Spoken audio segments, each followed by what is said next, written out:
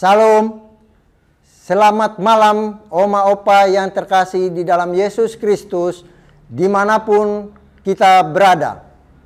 Hari ini Selasa 27 September 2022 kembali kita bersekutu dalam program kita yaitu saya dan PKLU GPIB membaca Alkitab bersama yang merupakan program dari Dewan PKLU.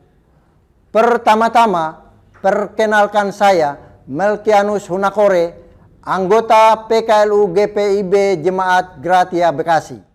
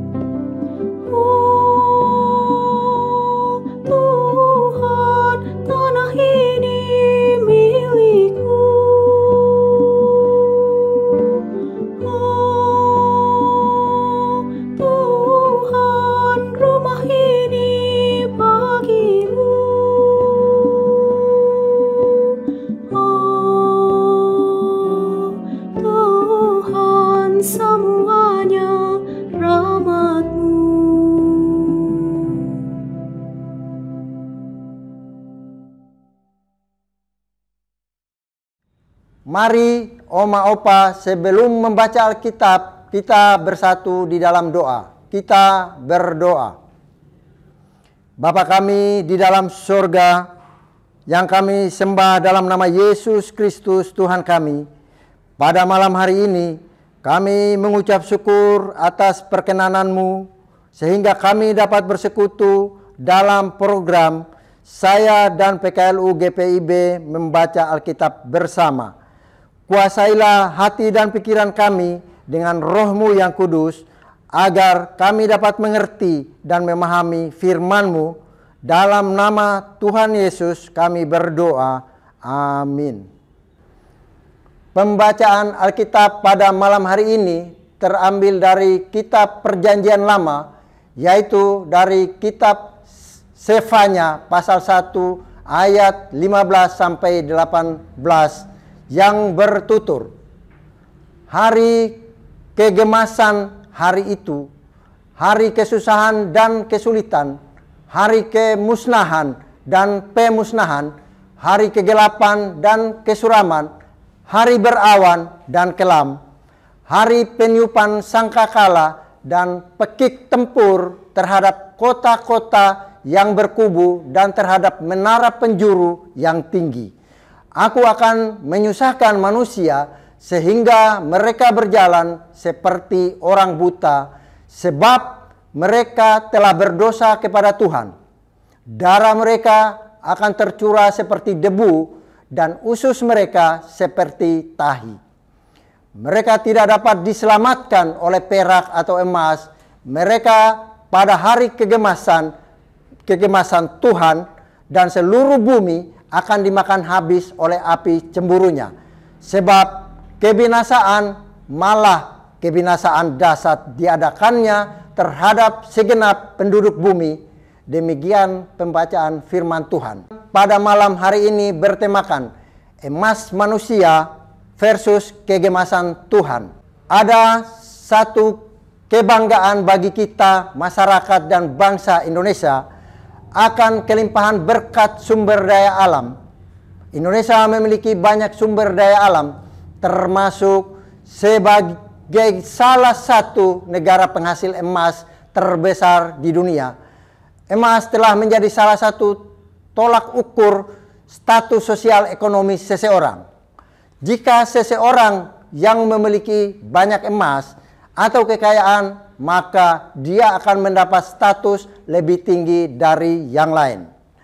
Namun, dalam berita Sefanya disampaikan bahwa ketika hari yang Tuhan tetapkan itu datang dan terjadi, maka hari ini akan menjadi hari kesusahan dan kesulitan, hari kemusnahan dan pemusnahan, hari kegelapan dan kesuraman, hari berawan dan kelam. Ayat 15.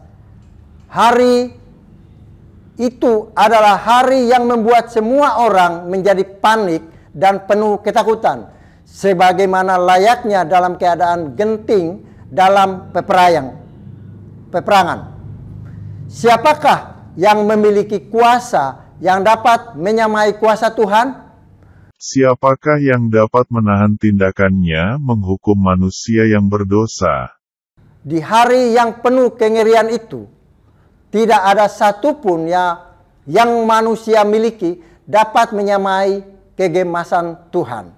Segala harta milik yang dipunyai manusia tidak ada artinya di dalam kuasa kegemasan Tuhan.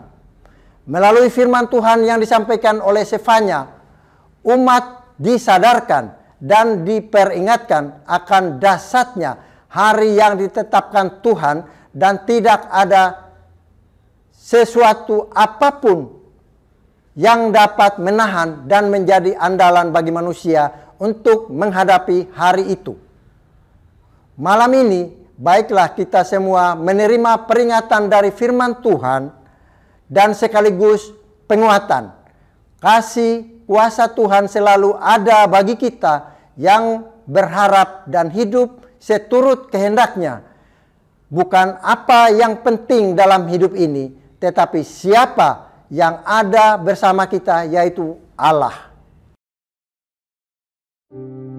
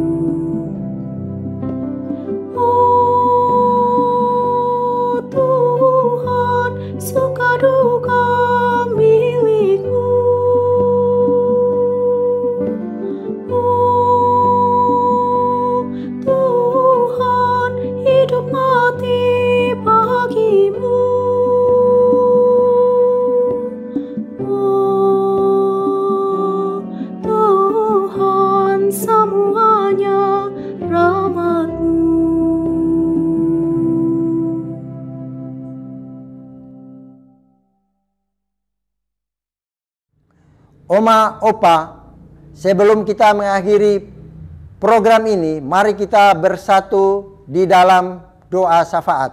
Kita berdoa. Bapa kami dalam kerajaan surga, kembali kami mengucap syukur pada malam hari ini atas kesempatan yang Tuhan berikan kepada kami untuk membaca dan merenungkan firman-Mu melalui SBU pada malam hari ini.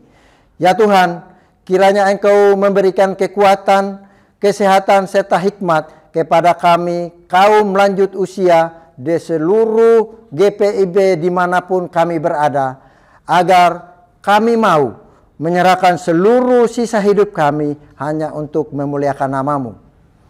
Kami juga berdoa untuk negara dan bangsa kami Indonesia, juga pemerintah mulai dari pusat hingga ke daerah. Karuniakan kepada mereka hikmat dan pengertian sehingga mereka melakukan tugas dan tanggung jawab mereka untuk memimpin bangsa ini berdasarkan takut akan Tuhan. Kami juga berdoa bagi gereja kami GPIB di mana kami bernaung. Tuhan tolong campur tangan dalam segala program yang telah dirancangkan di antaranya program lansia berprestasi. Biarlah Tuhan jadikan sisa hidup kami menjadi bermakna dan berkat bagi banyak orang sehingga nama Tuhan saja yang dipermuliakan. Doa ini kami panjatkan hanya di dalam nama Yesus Kristus Tuhan kami yang telah mengajar kami berdoa. Bapa kami yang di sorga, dikuduskanlah namamu, datanglah kerajaanmu, jadilah kehendakmu di bumi seperti di sorga.